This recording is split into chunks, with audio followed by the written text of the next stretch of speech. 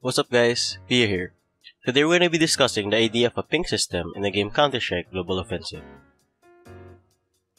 First of all, we have to define what it is. A ping feature allows players to pinpoint spots on the map to their teammates. This could be locations of the enemies, certain guns, and utility. It also allows for easier communication on what spot of the map needs to be smoked off, flashed, or mollied.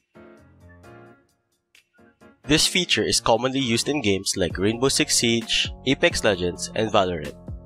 While one could argue that the pinging feature is better fit for Battle Royale games as those types of games do not have specific callouts for every position in the map. Tactical shooters like R6 and Valo greatly benefited from a ping feature because it allows for easier communication and pinpoint precision of callouts. There is actually a ping feature available in CSGO, however it is only available in the Danger Zone game mode. I am sure that I am not the first to think about a ping feature in competitive CS, but adding this feature obviously has its drawbacks and now I will discuss the pros and cons of a ping feature. For the pros, it allows for clearer comms between site holders as they won't have to flood the voice chat with a lot of callouts. A pinging feature will also help alleviate the communication barriers as different regions sometimes have different ways of calling out positions.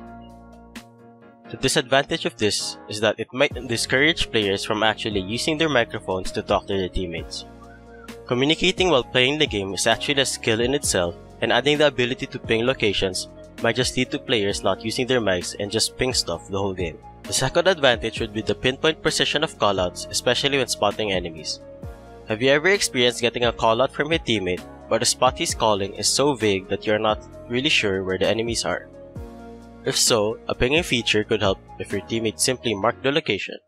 It would be easier to then double peek or pre-fire that area and even use utility to flush the enemy out of that position. Being able to ping with labels just like in Valorant will help newer players to memorize the callouts faster compared to them just guessing which spot is which.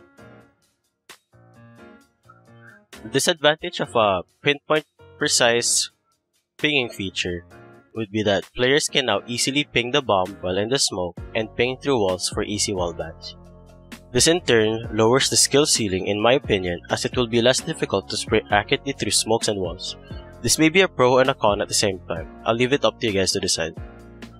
To recap, having a pinging feature allows for clearer and easier communication, but it lowers the skill ceiling of the game, and it might even dissuade players from talking in the game. At the end of the day, these are just some of my opinions and I may be wrong. I don't really know. But feel free to discuss your thoughts in the comment section, as a healthy discussion is always beneficial for the game and the community. That's all, peace out, I'm a head out.